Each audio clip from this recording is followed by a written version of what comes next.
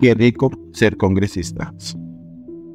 Hace un par de años, el investigador Jorge Galindo hizo el ejercicio comparativo de ingresos de congresistas colombianos con los de varios países suramericanos y europeos.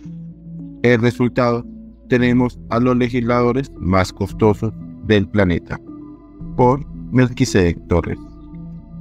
Tres cosas reflejan la enorme desigualdad de Colombia. La propiedad de la tierra, las pensiones y los salarios de los funcionarios del Estado. De estos últimos, los congresistas están en la cúspide, con pocas excepciones de algunos cargos diplomáticos y empresas estatales como Ecopetrol. Los constituyentes de 1991 son los responsables del absurdo nivel salarial de nuestros legisladores. Ese año su salario era equivalente a 14 salarios mínimos. Hoy es de 37 y aumenta año a año la diferencia, como acaba de pasar.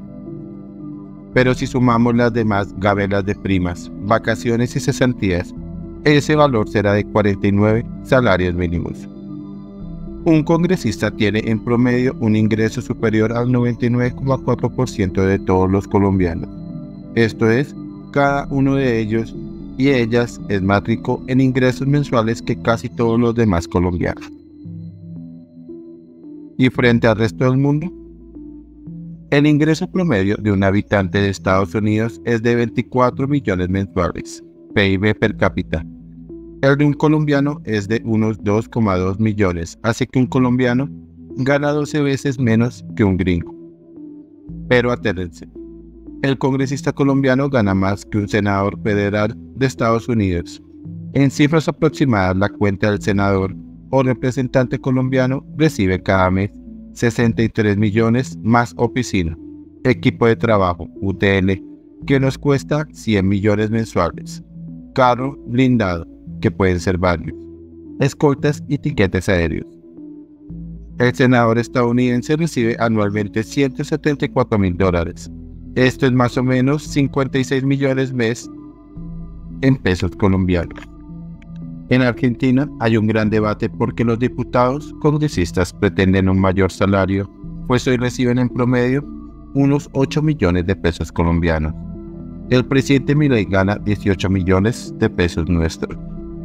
Hace un par de años el investigador Jorge Galindo hizo el ejercicio comparativo de ingresos de congresistas colombianos con los de varios países suramericanos y europeos. El resultado, tenemos a los legisladores más costosos del planeta. Pero el asunto pinta más oscuro cuando el país se entera de que las cabezas del poder legislativo, los mejor pagados del mundo, son denunciados por recibir sobornos de un millón de dólares de parte del gobierno. Lastimosamente nada nuevo bajo el sol. El salario nunca ha sido para muchos de los mal llamados padres de la patria el objetivo central de ser elegidos para una curul.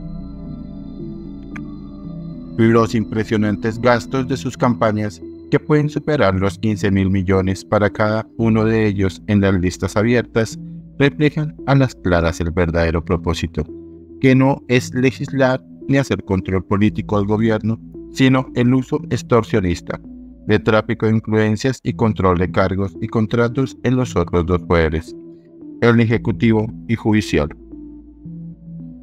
Al final de su periodo de cuatro años, un congresista recibe en sus cuentas entre 2.000 millones y 2.500 millones, descontando pagos de seguridad social e impuestos. ¿Cómo se justifica entonces que el gasto en su campaña de elección mucho más que eso, y pese a ello, sale de su curul o permanece en ella con alto nivel de vida y nuevas propiedades?